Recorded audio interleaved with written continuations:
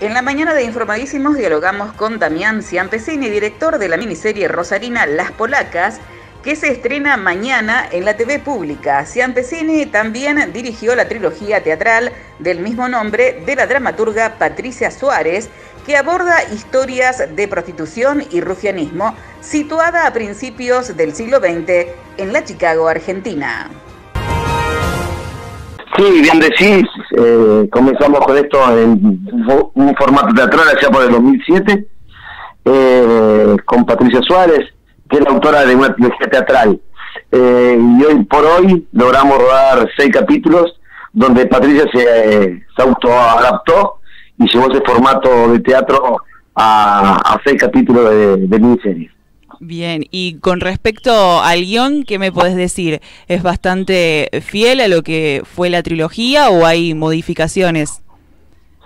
Sí, eh, logra ser muy interesante, unos giros eh, narrativos, poniendo unos personajes para hilar. La, la, historia comienza en Polonia y termina en Rosario, ¿no? Va siguiendo toda todo el tema de la trata en la década del 30 y bueno, eh, incorporan unos personajes que le dan una velocidad muy importante a, toda la historia. Bien, eh, bueno, justamente es una temática eh, muy interesante y para quienes no pudieron disfrutar de la trilogía, mm, bueno, comentamos que es, si bien está basada en el siglo XXII, siguen siendo temas muy actuales, porque, bueno, habla de la reivindicación de la mujer, de los derechos, de una lucha que continúa, no de igual manera, pero sigue siendo una temática que está muy, muy presente. ¿Qué significa para ustedes, bueno, tratar de este tema hoy en la actualidad? Bueno, como bien decís, bueno, es, esto se da en Rosario, comienzo del siglo XX, la década del 30, pero bueno, es, eh, es muy importante en estos momentos de, reivindicación, eh, donde esta historia tiene, un aditivo, ¿no? Para nosotros muy importante, es levantar una bandera y sumar de alguna manera eh, un granito más eh, en esta lucha de, derechos, en esta lucha de, reivindicar desde la historia también, ¿no? creo que hay una aceptación muy grande también de, de contar, de contar esto y que no quede en el olvido. Bien. Es una miniserie, recalcamos, rosarina y además todo el elenco es rosarino. No solamente todo el elenco, la autora es rosarina, eh, los cámaras y editores son rosarinos, eh, la producción rosarina y hasta eh, tiene, tiene toda una temas musicales originales, el músico también es rosarino, así que es 100% rosarino y es una de, de, de las cosas que mejor tomó la TV pública nación a, bueno, a convocarnos y, a permitir esperarlo para todo el país.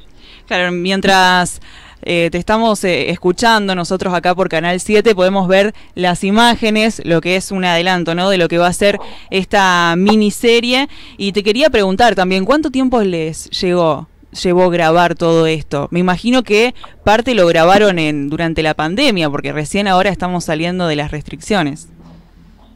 Sí, sí, fue bastante complicado, nos llevó más de siete meses el rodaje, eh, donde la pandemia eh, nos, nos limitó, nos quitó dos, dos meses casi, y era muy, muy, muy, muy difícil.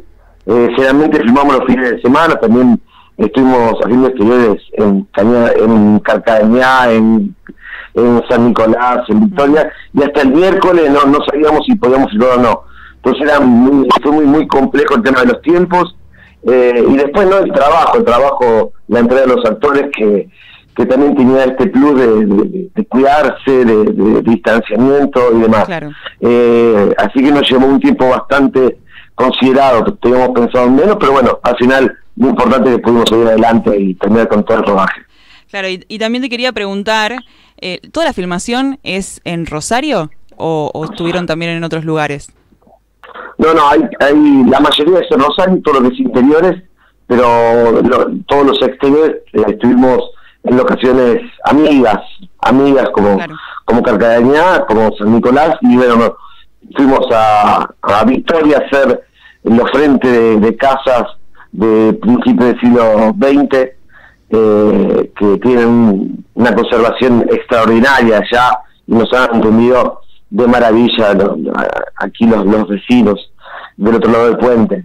Eh, y ahí estuvimos rodando unos cuantos días, eh, haciendo todos los frentes de, casa y, y, bueno, los principales exteriores.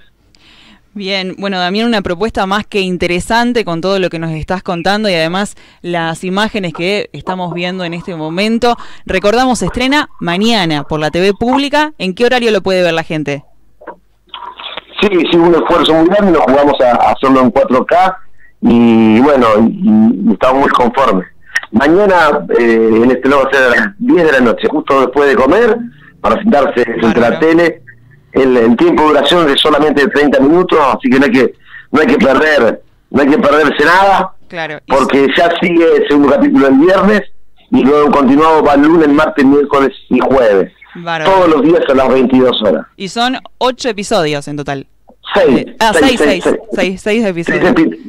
6 episodios que tienen un plus, porque para que la gente no se levante entre tiempo, porque es una ficción eh, que tiene cinco minutos de documental sobre el final, donde personas eh, de la cultura, del medio, historiadores, eh, van a, contar lo que uno tenía de ver de ficción. O sea que cuando pasaron los 25 minutos y aparecen los créditos, esperen unos segunditos para escuchar a grandes figuras que van, gente muy relevante que va a, contar historias reales, tipo documental de lo que era por aquel entonces la Chicago Argentina en 1930.